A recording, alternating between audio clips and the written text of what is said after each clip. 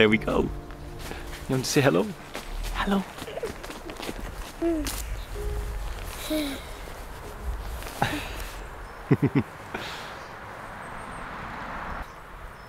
Happy New Year, everybody. I'm making a video whilst I'm with my family, and the boys wanted to be in the video, which is unusual, I know, and I wanted to say hello. Do you want to say Happy New Year as well? No? Okay. Do you want to go and play? Okay. Are you going to play or are you staying? Play. Okay. The other side of my life and a big part of it as well. I wanted to make a New Year's message, but I'm also with my family.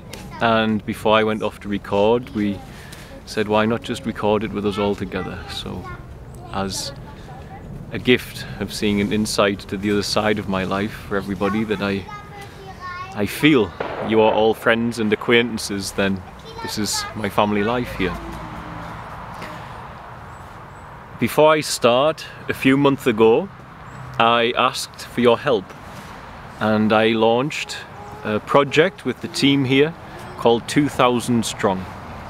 And we said within there that we hope by New Year's Day that 2,000 of you would volunteer to raise $100 each and fundraise, donate, however that's going to be, share what you have. And the grand total of that would have been $200,000, which would allow us to build phase one of the new village for the special needs children. That phase one would have provided a home for 100 children in crisis. And up to now, for all we have not made our goal of 200,000, I must say an enormous thank you. And I think we should all give ourselves a congratulations as well, for we reached a goal of $83,000. Uh, that was the sum total up to now, including offline donations. That means that we are well on our way and we will have one of the first houses, the first structures built in the coming days, in the coming weeks I should say. And this will provide immediate access for children that you have seen here who are among the most marginalized, forgotten and ostracized children in our human story. These children will find a loving, safe and family home to the best of our human capacity and they do not have parents and so we must find a solution for that. They don't have the blessing that my children have. And so I feel, as men and women in this world, we are obligated to find a solution. Interestingly, this ties into what I wanted to say here because here, this community has gathered around a message of great love and off the back of gathering that energy together, we have found a solution for these children. When this village is finished, it will provide a loving home for 500 children in crisis. That can cover the whole nation if I opened offices in every region. And that means that a whole country on this planet, right here, right now, of special needs children will have a fighting chance, a solution, an opportunity to live a life of comfort and love. And the fact is, however difficult that fact is to accept, that I have met children that have never known a single day of love and kindness in this world until the day they are found.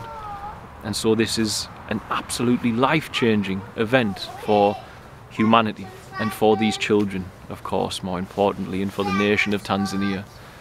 When we have a solution for the whole country, we will then expand, as I pray, every day, because wherever there are developing nations, there have to be children like this. And so I pray every day that we build these villages all around the world. So thank you for making that possible. Absolutely phenomenal outcome.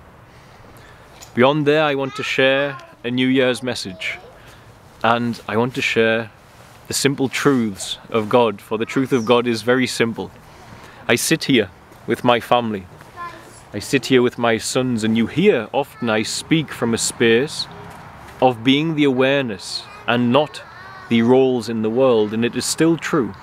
I am their father, but before I was their father, I am the awareness that is aware I am their father. And when I can reside in that space, you can reside in the place Yeshua asked us to, where unless you forget the roles of the world, unless you forget your mother, your father, your husband, your wife, your so on and so forth, you cannot follow him.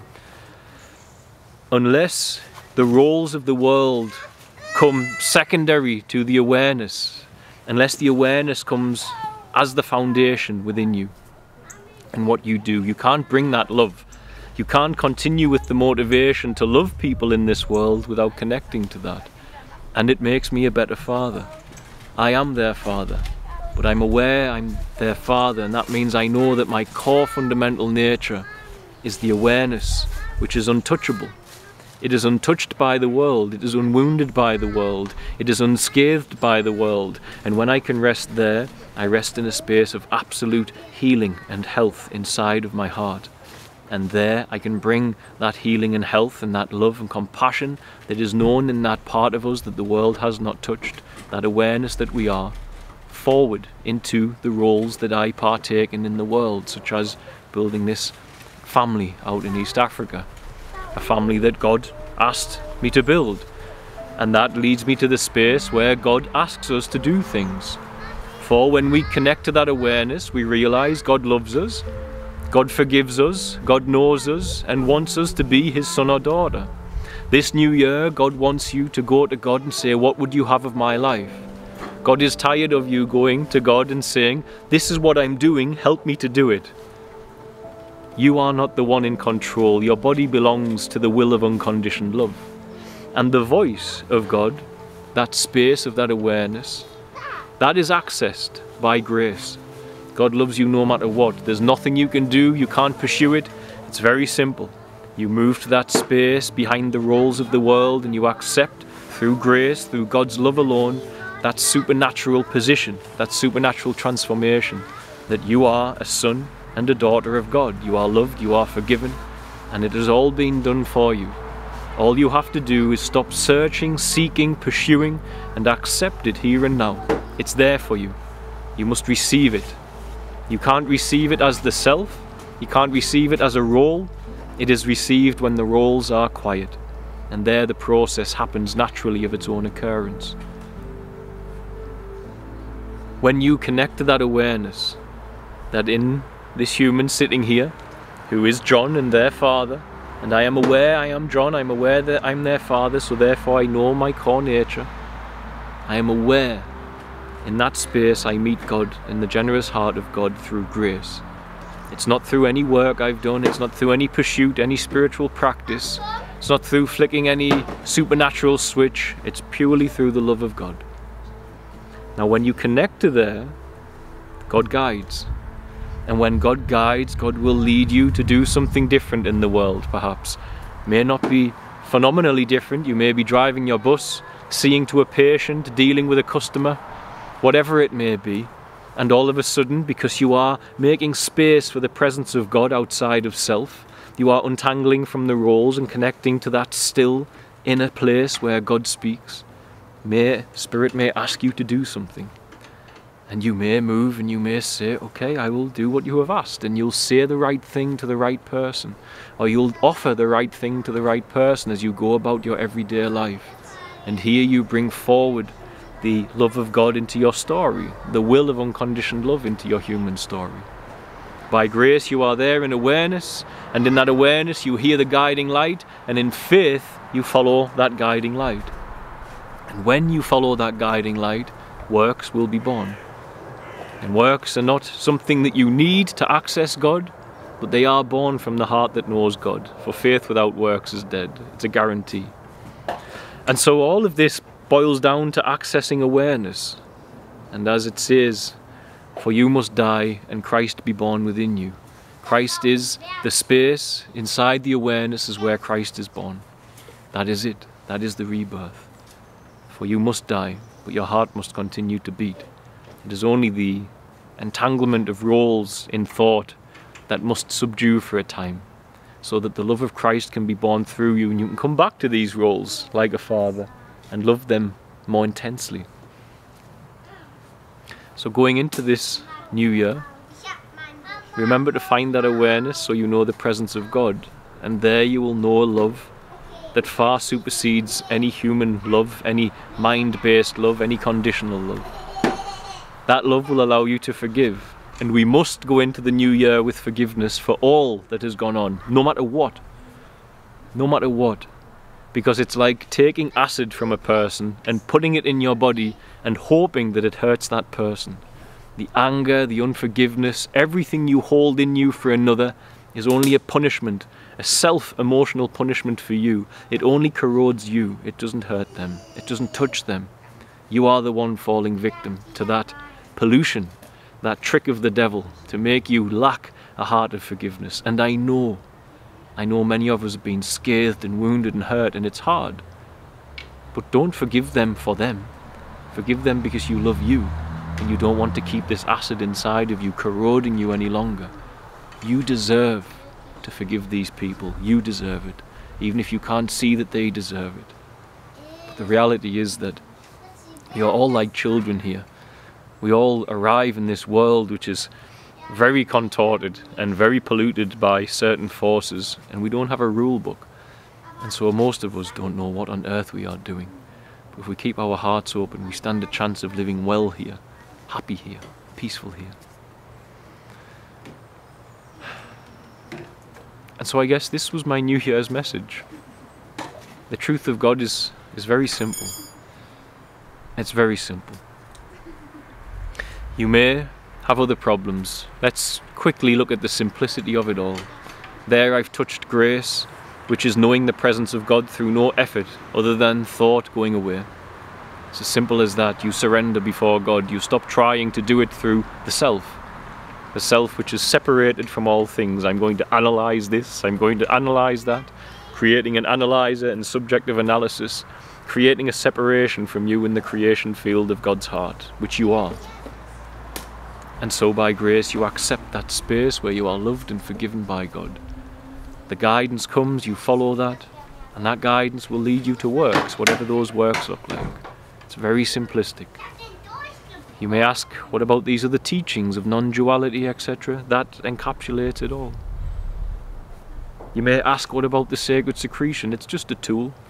It's just a tool that when the human who recognizes that the self cannot be trusted to to trust the power and the presence of spirit and the gifts and the toolbox of spirit, that the secretion will be switched on in a human by the true Christ.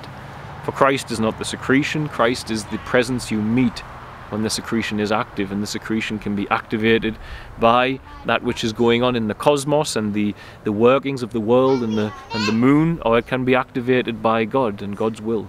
It doesn't need to be only at a certain time of the month, I assure you of that and therefore you need not know anything about it. You need only know grace and compassion. When you move to that space, you will recognize it. How will you recognize it? Because the worldly behaviors that you once enjoyed, your movies filled with violence and gore, they'll become absolutely repulsive to you. It's one of the greatest ways we all indulge in entertainment. You'll see it, it becomes repulsive to you. Your sin becomes abhorrent to you. Your worldly attachments become repulsive and you push them away. And there you start to move in the presence of the Holy One, the presence of God, the higher mind, which is what the secretion gives us. But you can have the higher mind without knowing a single thing about the secretion, of course. As you can drive your car, you need to know how the car works. You need to know how you function well here and now in compassion, not what's going on inside your body. You need to know how to fine tune your compassionate action in this world and let God take care of the autonomic systems such as the secretion within you.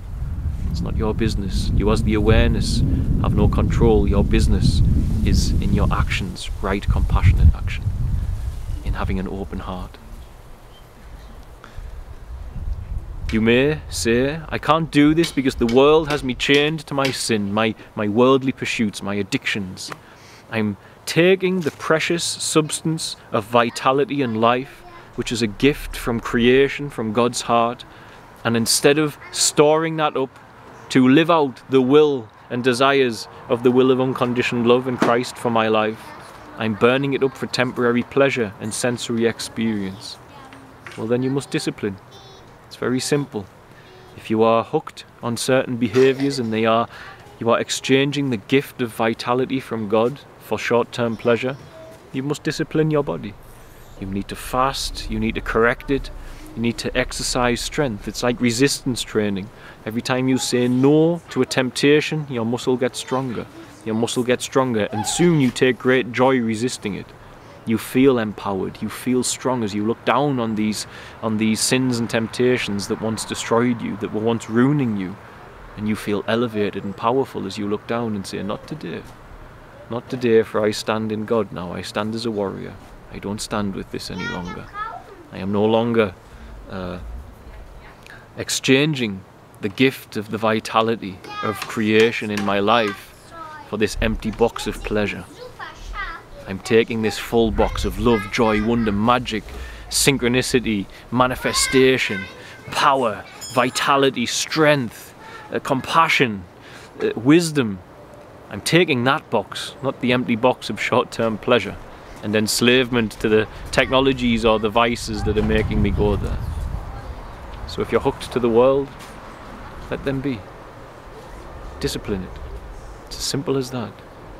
And if you are so far out that you say, but I feel miserable and tired and depressed because of how far away I am, then know that God is with you as you go through that thorny, bumpy, uncomfortable journey back to the guarantee of God's love and peace, and it will take a little time.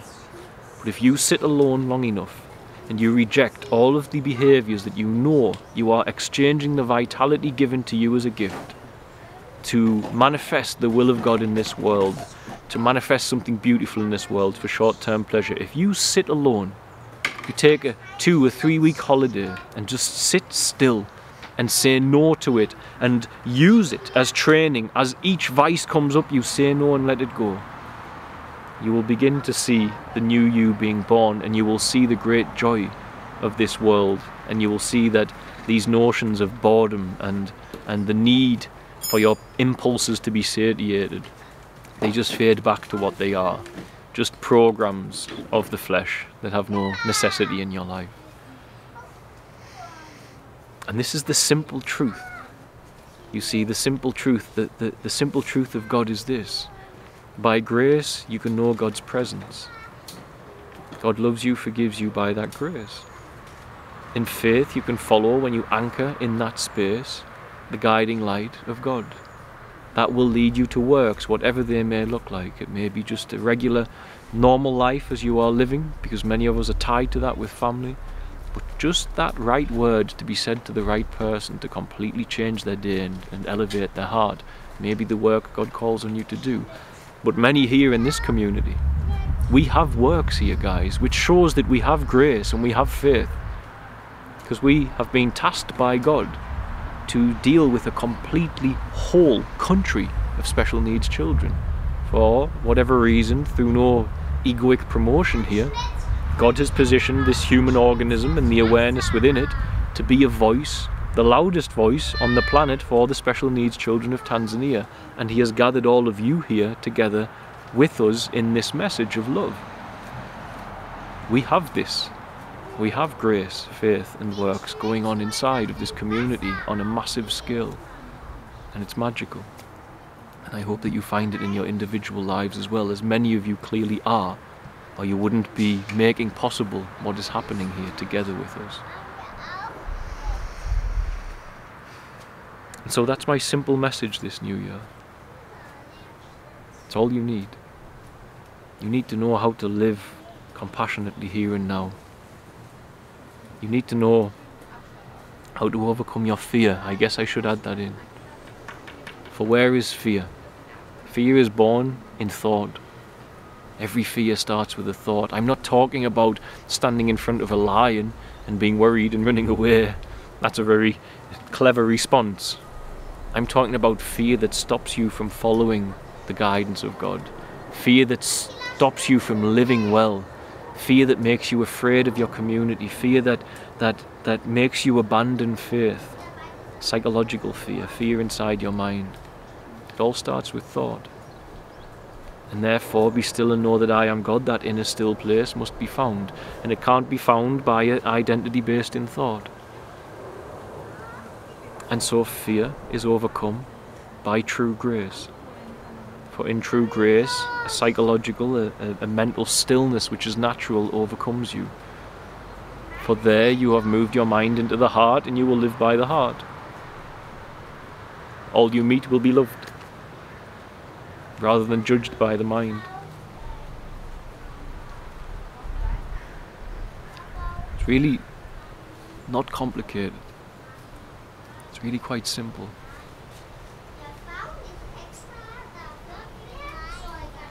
So long as you can make that first step to realize that however valuable this is to who I am as a man, that before this and before any identity I constructed around this, my core nature was awareness.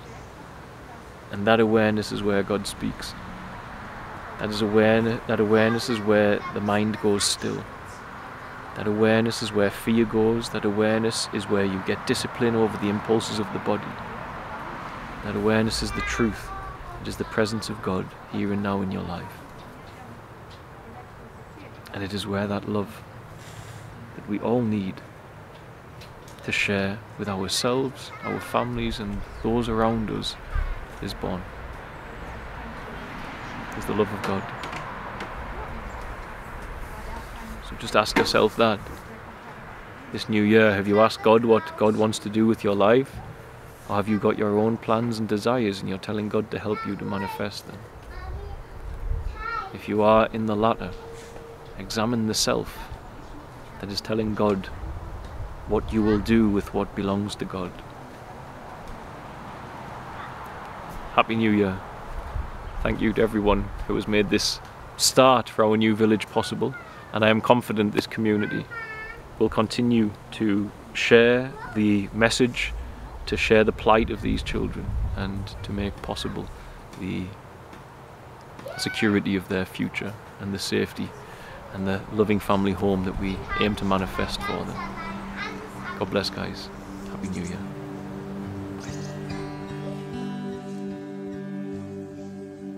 You can have it all. Every part of my world.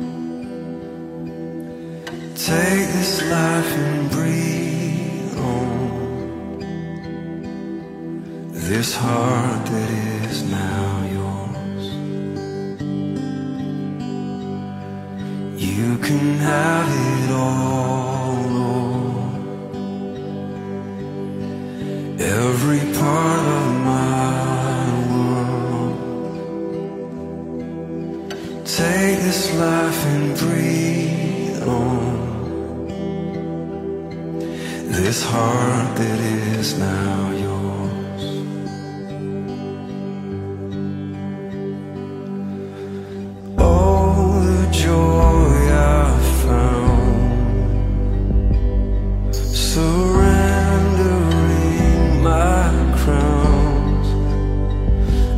the fear.